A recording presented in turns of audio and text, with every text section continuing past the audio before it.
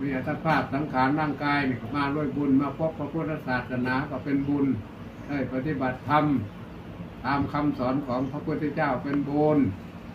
ได้พบธรรมคำสั่งสอนของพระพุทธเจ้าด้วยได้ฟังด้วย ได้ปฏิบัติด้วยเป็นบุญถ้าเรามาด้วยบุญอยู่ด้วยบุญกลับบ้านเก่าด้วยบุญสังขารร่างกายไม่เที่ยงเกิดแล้วแก่เก็บตาย เห็นไหมล่ะอายุของเราแก่เข้าไป แก่เข้าไปสมัยก่อนแต่ก่อนก่อนอยู่ในคันนุ่นพอออกมาแล้วก็มาทุกข์มายากมาลำบากมาเป็นภาระดูแลปกป้องปกปักรักษา ไม่อยากให้เก็บไข้ได้ป่วย ไม่อยากให้เท่าให้แก่ไม่อยากให้กล้มให้ตาย แต่มันก็เป็นไปไม่ได้ เพราะสังขารร่างกายก้อนนี้มันเป็นเรือ พาขึ้นฟัน พาขึ้นฝั่งคือมรรคผลนิพพาน คือทำบุญอาศัยเรือ เวลาพายเรือขึ้นไปแล้วถึงที่แล้ว แล้วก็ปล่อยเรือทิ้งขึ้นไปแล้วก็สบายแต่สิ่งตัวของเรา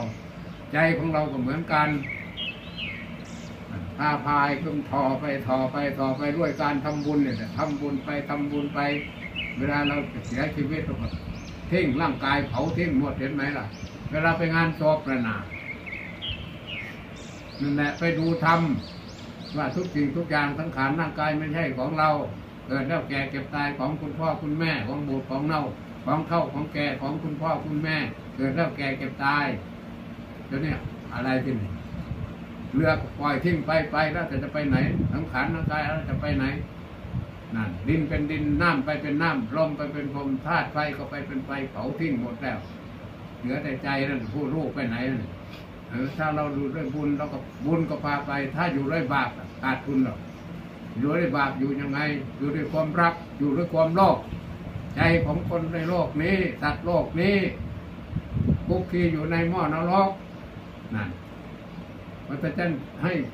ลืมหูลืมตาที่พระพุทธเจ้ามาโปรดนะข้อศีลข้อธรรมของพระพุทธเจ้ามาโปรด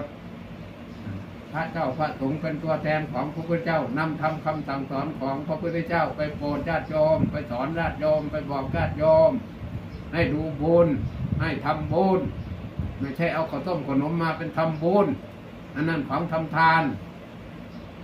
ข้าวต้มขนมสิ่งของเครื่องนุ่งเครื่องห่มสบงจีวรที่อยู่อาศัยกุฏิเสนาสนะตลอดทั้งยารักษาโรคสำหรับร่างกาย แต่คนชอบสังขารร่างกายเนี่ยแต่บุญลมเข้าลมออกทำไมไม่อยากจะทำหรือทำทุกวันหรือเปล่าทุกวันเนี่ยนั่นหลวงปู่มาย้ำทุกครั้งทุกครั้งมาทุกครั้งคือให้ทำทุกวันให้ทำทุกวัน วันละหนึ่งนาทีอย่าได้ขาด คืออะไรทำบุญ ไม่ได้ซื้อฝึกไว้ทำมาไว้เป็นนิสัยอุปนิสัยเป็นวาสนาเป็นบารมีนั่นถ้าถึงกับเป็นบารมีแล้วไม่ได้ทำไม่ได้ มันทุกข์ใจ คิดไปแบบทางโลกรักโลกทุกข์